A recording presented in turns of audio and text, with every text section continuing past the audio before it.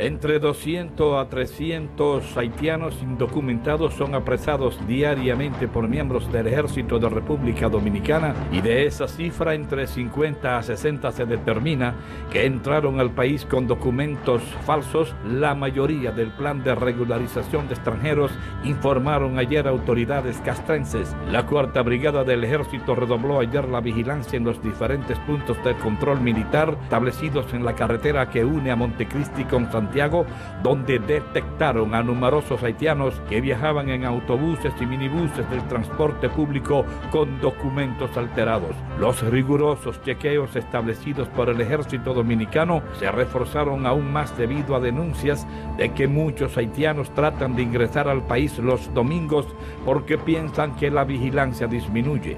De 100 pasajeros que transportan al día, al menos 85 son haitianos y 15 dominicanos de esa cantidad entre 30 y 40% lo hace con carnés, pasaportes y otros documentos adulterados. Haitianos indocumentados siguen entrando en masa al país. ¿Qué hacer para contrarrestar este problema?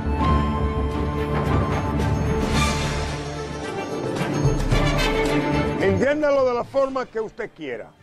Cachicha, tranquilo, yo nervioso. Entiéndalo como usted quiera como usted le venga en gana. Puede penetrar a un país, puede entrar a un país que se respete, que tenga un departamento migratorio eficaz, una cantidad masiva de indocumentados, a menos que no tenga herramientas fraudulentas con personas en este país? No.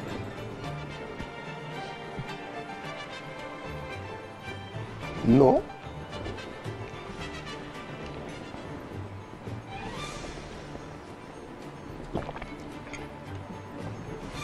Que vengan dos, que vengan tres, pero 200, 350. Escuche lo que voy a decir.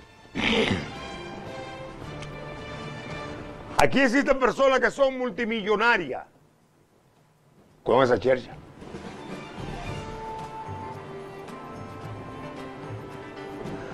Porque no me diga usted a mí que los departamentos de inteligencia, que son inteligentes cuando ellos quieren, no van a tener conocimiento cuál es la ruta de los haitianos.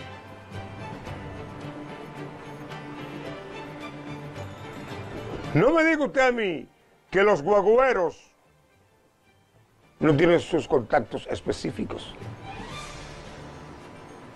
Te tengo 80 pasajeros a mil. Son 80 mil pesos.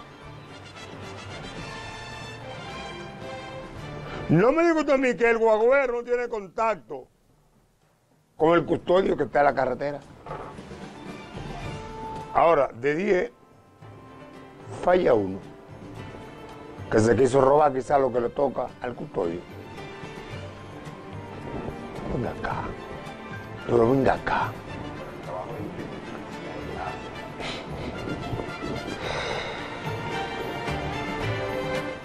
Yo estaba en Monción ayer.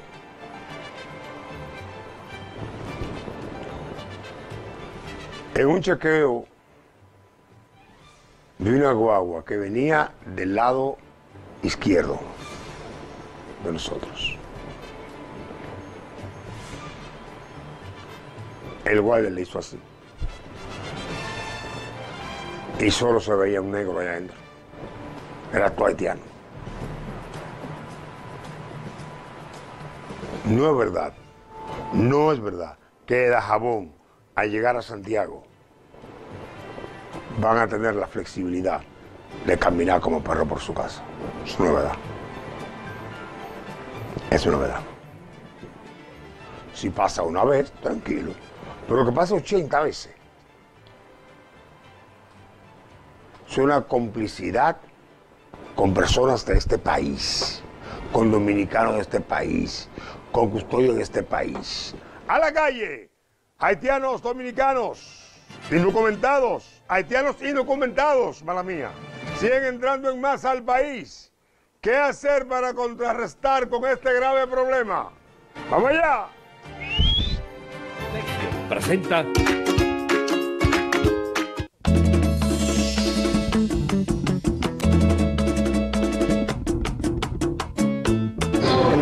que no es más que una irresponsabilidad de las autoridades, toda vez de que nos permiten una invasión, no importa qué nacionalidad sea, en este caso es la haitiana. Eh, la regularización va de parte de la sentencia y de la ley misma y de la constitución misma, sin embargo no se abocan ellos. Se lo lleven todo y no dejen uno aquí, porque aquello que está, está de trabajo y ellos lo están quitando todo a uno y uno se está llevando el diablo aquí. No, no, no, que aquí, aquí la ley, no, aquí la ley no está cumpliendo como se debe, nada. Esto es una mujer que tiene los haitianos. En todos los países en regla, menos en este. Manda acá los haitianos. Se llevan dos y, vienen 200. Imagínense, ¿qué van a hacer cuando se lleven dos y traigan 200? Es que aquí lo que es un negocio, aquí todo es un negocio. Aquí todo es un negocio. La negociación, Aquí hay negocio, aquí coge el chiquito, el grande, y coge todo el mundazo. Bueno, eso, es un problema casi internacionales. Entre tendría que ir un acuerdo entre los gobiernos de Francia, de Estados Unidos, eh, Brasil, conjuntamente con los gobiernos de aquí, porque no, no el gobierno de aquí no ha podido hacer nada, o no tiene interés de hacer nada, simplemente.